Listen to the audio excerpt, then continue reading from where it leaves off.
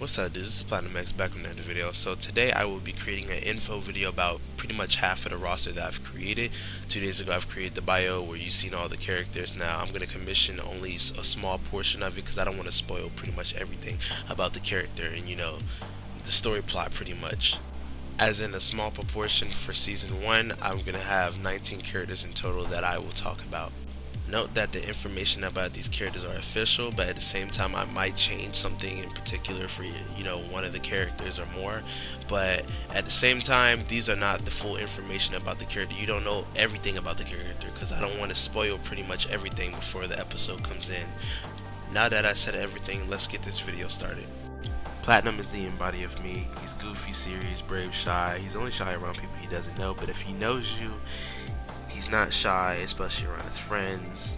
He can be a handful sometimes, but he's a genuine guy once you get to know him. He's born on May 25th, a Gemini. His favorite food is ribs. Three of his hobbies, he likes to play video games, train, and hang out with his friends. Roosevelt is a kind-hearted explorer, and despite the eager to explore for herself, she's in a need for others. Don't get on her bad side because she'll knock you out. She's very intelligent and getting to a good sense of remembering sights of area she's been at. She's born on December the 23rd, a Sagittarius. Her favorite food is chicken, you know, black people type shit, you know. Her hobbies are training, exploring, and creating. Jin is a cool person to vibe with. He's not shy, but he doesn't open himself to everyone. Although he keeps to himself, he can be ignorant if you push him around. He can also be a smart mouth when necessary. He's not unlikable, he just have low tolerance. Because he is more mature than Platinum or others. He can crack some jokes, but he's serious for the most part. He's born on May 25th. I mean, not May 25th. He's born on May 5th, a Gemini. His favorite food is sushi, and his hobbies are video games and art. Alicia is the nicest person you will ever meet. She's the mother of Roosevelt and has a great sense of humor. She always stay positive until you're messing with her. Respect her, because if you don't, she won't hold back on negative comments. She is born on October the 23rd, a Libra. Her hobbies is training with her partner, and her favorite food is chicken. Just like Alicia, Aaron's pretty much the same way except for the fact that he will fight you or he will ignore you. He is born on October the 3rd at Libra. His favorite hobby is working out and training with his partner and his favorite food is chicken. Jade is a nice but strict old school mom. Don't intend to piss her off because if you do, she will keep a grudge against you if serious.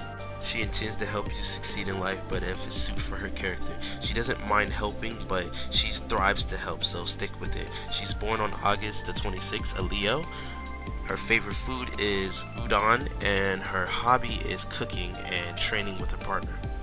Bruno plays a strict role in being the governor. He plans on developing a new generation full of fighting potential. He's the second swordsman of the Edo clan and he's born on January the 16th of Capricorn. His favorite food is soba and his hobby is training and perfecting rose form. Hanzo is a very strict teacher, but very nice outside of it, just like Bruno. He trains the next generation of the governor role. He is the first swordsman of the Edo clan. He is born on January 19 of Capricorn. His favorite food is pretty much anything, and his hobby is meditating. Jimmy is the nicest governor. He works very hard in this position despite his father's legacy. He plans on carrying hardship and ethic work by preparing his son Platinum to be the next governor. He is born on May 25th, a Gemini. His favorite food is sushi.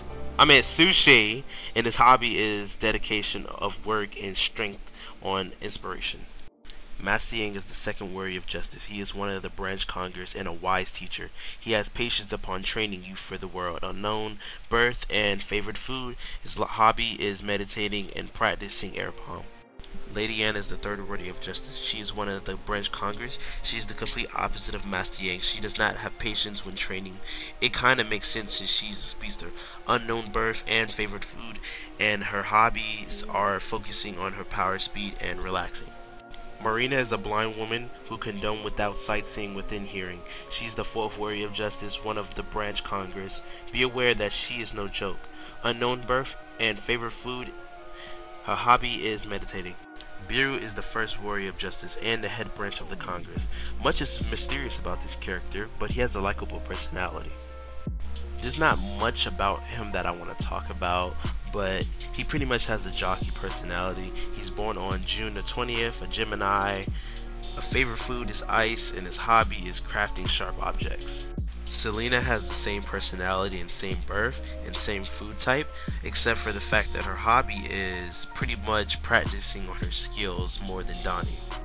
Namus is the savage animal, half shark, half human. He has no goal but to survive. That's what's fun to him. That's the shark part of him. The human side of him is completely normal. He respects and the need of others, but he is immature sometimes. He is born on December the 3rd, a Sagittarius. His favorite food is meat. Chill is a savage beast, half shark, half human. Unlike Namis, he is more mature, seeming as he is the older brother.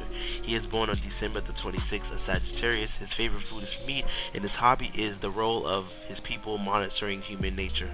There's not much about this character that I'm going to talk about because she is a season 2 build up, but at the same time, she is built up upon season 1 with no visual character instinct because, you know, I have my plans but she's pretty much unknown. But I'm gonna tell you this: her ability is to change her age. Dungbai is very mysterious right now. She has the ability of tool manipulation, and she's pretty much built from season one from scratch. But she's built even more from season two, so that's why I'm not gonna explain much about her because she plays an important role, and that's all I need to spoil about this character. And this has pretty much been the end of the video.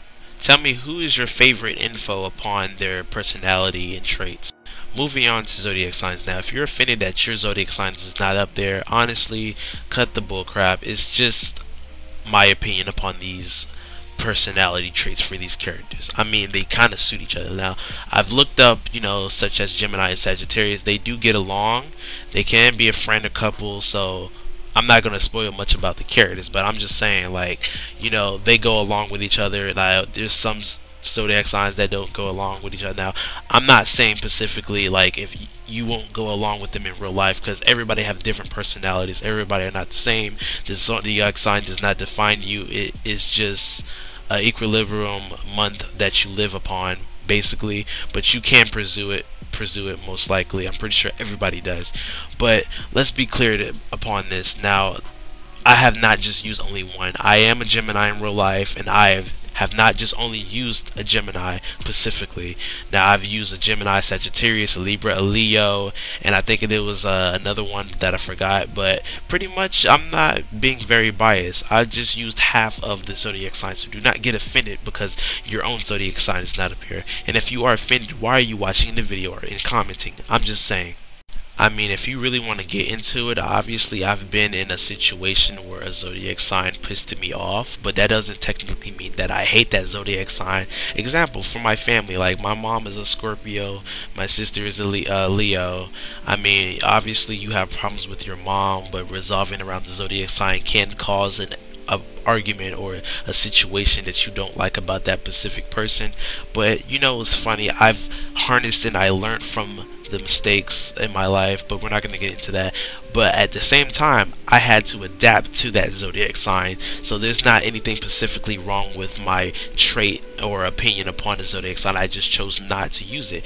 I mean, we all have you know problems. So i'm not gonna sit here and be offensive upon your zodiac sign and just claim you off of it. It's based on your personality in per se and I know it's going to be that one or second person or multiple people who's still going to say some negative feedback. Honestly, I might just ignore, but at the same time, I might not because I like to prove people wrong when they're in the wrong.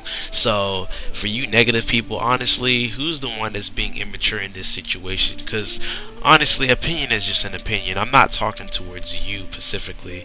Honestly, I didn't say anything wrong about you. So, there's no reason for you to get mad. I don't even know you. And that about wraps it up in this video. I hope you really like this video and that's pretty much all I'm to say. Peace. Bye.